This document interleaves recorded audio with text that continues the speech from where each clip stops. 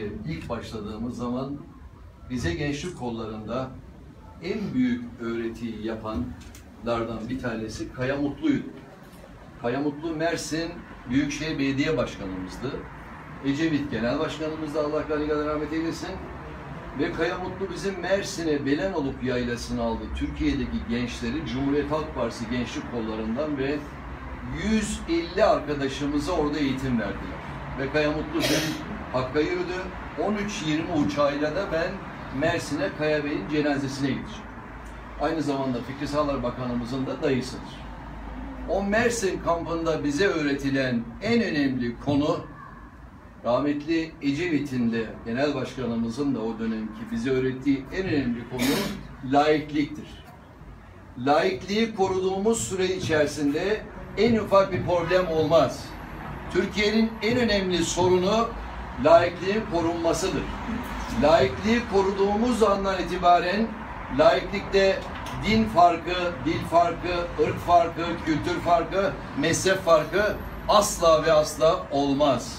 Onun için Cumhuriyet Halk Partimizin altı okunun en önemli ilkelerinden bir tanesi laikliktir. Laikliği kor korusaydık bugüne kadar bunlardan hiçbir tanesi olmazdı. Ama bilesiniz ki iktidardaki uzantı da aynı ölçüler içerisinde devam ediyor. Şu anda yapılan bir darbe de Atatürk devrimlerine darbe yapılıyor. Deniz Lisesi'nin kapatılması, Deniz Harp Okulu'nun kapatılması, Kuleli Lise, Kuleli'nin kapatılması asla ve asla doğru değildir. Bunlar doğru değildir. Bunlar buralardan yetişen çocuklar düşünün ki Demirel döneminde Genel Başkanımız Ecevit'in başbakanlığı döneminde Milli Güvenlik Kurulu'nda efendim Yüksek Askeri Şura'da sürekli ilticaya karışan subaylar atılırdı. Son 15 yılda kim atıldı? Hiç kimse. Yok. Ona iyi bir şekilde bakmak lazım. Onun için sevgili kardeşlerim layıklığı korumamız lazım. Sevgili başkanım bayramın ikinci günü bayramlaşma sürekli olarak yapılacak. Bu geneldir ve bir kuraldır. Siyaset adamının da cumartesi, pazarı, bayramı, tatili asla ve asla olmaz. Siyaset adamı her zaman cumartesi, pazar demeden, bayram günü demeden halkın içerisinde olacak ve halkın içerisinde bulunmaya devam edecek. Dün ben 14 mahalleyi dolaştım.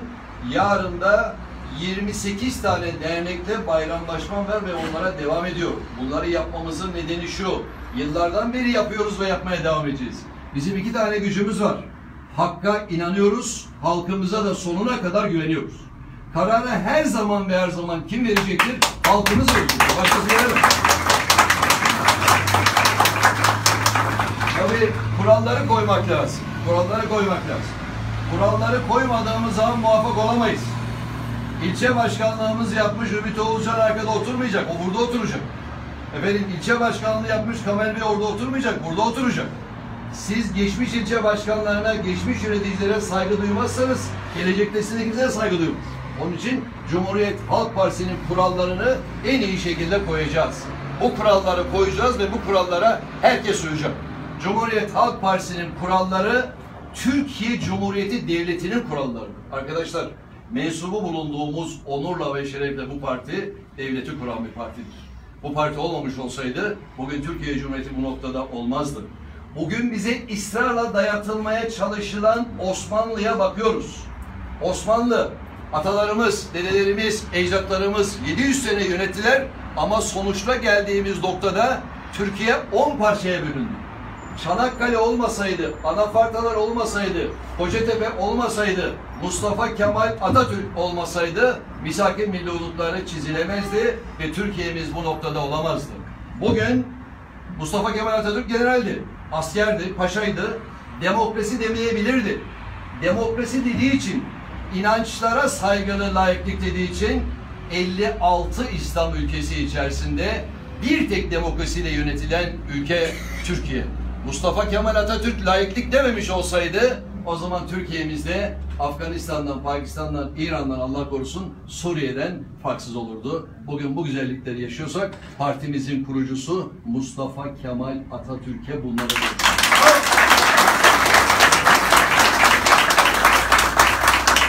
Sevgili kardeşlerim, nasıl olursa olsun, ne olursa olsun sonuçta aynı partinin mensuplarıyız. Onun için hepinizden ricam şu, gerçekten birbirinize güler yüzle bakın, birbirinize sarılın, olaya çok büyük bir şekilde bakın ve olayı kucaklayın. Çünkü tehlike senin üzerine, benim üzerimize gelmiyor. Tehlike hepimizin üzerine geliyor. Hepimizin üzerine gelen bu tehlikeyi korumak için de hep beraber gerçekten el ele omuz omuz olmamız lazım.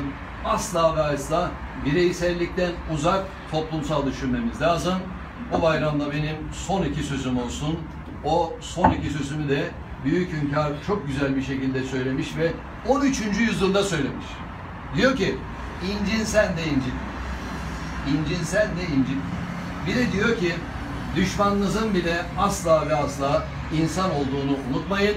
Gene biz onlara, onlar da demeyelim hatta, yanlış düşünenlere, dün söylediklerimizi anlamayan iktidara diyelim ki bir kez daha bu aldığınız kararları gözden geçiriniz.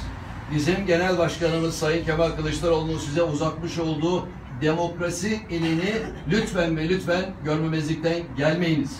Cumhuriyet Halk Partimizin size ula, ula, ulaştırdığı barıştan yana, özgürlükten yana, insan haklarından yana, bireyin mutluluğundan yana olan demokrasi elini Cumhuriyet Halk Partimizin görmemezden gelmeyiniz. Bizim Genel Başkanımız üzerine düşeni yaptı.